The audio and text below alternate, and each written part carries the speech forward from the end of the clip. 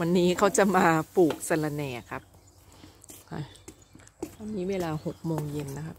หกโมงตรง หนาวครับ ไม่รู้ถูกหรือเปล่านะเอาฝากไว้ข้างล่างไม่รู้ความคิดถูกหรือเปล่าไม่รู้ แต่ที่เราก็ทอุ้ยกำมาน้อยอะนี่ครับำแล้วปลูกตรงนี้ครับ แล้วก็จะไปเอาดินมาจากไหนอะ ดีมันนี่แหละที่ลงอะ ขี้ควาย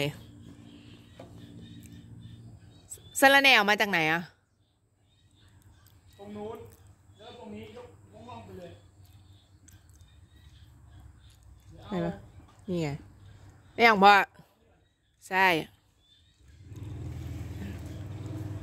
นายก็สวย ครับ สวัสดีครับ